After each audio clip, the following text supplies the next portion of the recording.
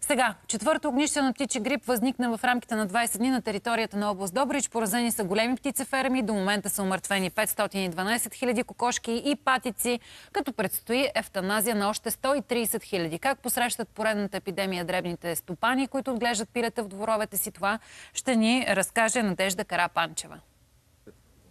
В два обекта на най-голямата птицеферма у нас в село Дончево бяха унищожени общо половин милион птици. Девет дни по-късно бяха покосени и 12 000 пекински патици в село Стефаново. Към днешна дата заразата е плъзнала и във фермата за яйца в Генерал Тошево, където предстои умъртвяване на всички носачки. Предприехме мерки за ограничаване достъпа на външни лица до територията на животновъдния обект, като на входа на обекта е поставен полицейски пост. В момента на обявяване на заболяването в животновъдния обект са около 130 хиляди бройки. Около всички птицеферми са определени 3 и 10 километрова ограничителни зони. В едно от тях попада и село Стефаново. Ами, притесняваме се. То е за притеснение. Аз като чух, значи първият път, като във Фейсбука пуснаха, викам край. Всичко ще замине.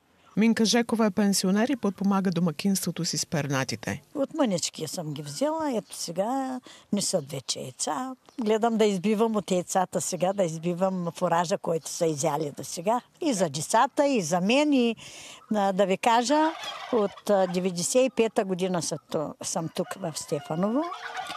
Месо не съм купила. Не може на село да нямаш едно яйце. Или един пител да ни изкукурига сутринта рано-рано.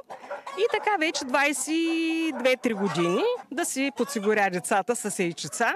И си подпомагате и домакинство. Да, разбира се, разбира се. Това е едно яйце 50 стотинки, то направо безбожна работа. От няколко години насам инфлуенцията по птиците обаче не е прецедент, а често срещано явление. Затова и част от хората вече нямат притеснения. Първата година доста така ни стрес, стреснаха, нали, като казаха, че ще ги изколят или ще ги каквото и да е там да ги унищожи. Слава Богу, размина се. Нямаме никакъв проблем, нито жертви имаме, нито нищо, но ограничени са. Те са си само в дворчето. И си ги храним само с наш фураж. Домашна смеска, царевица, пшеница и слънчоглед. Аз си я правя. Имам земя тук. А фуражът се съхранява в затворени съдове. Всеки стопанин сам трябва да ограничава животните си и да спазва указанията на институциите срещу разпространението на вируса, убедени са двете жени. И така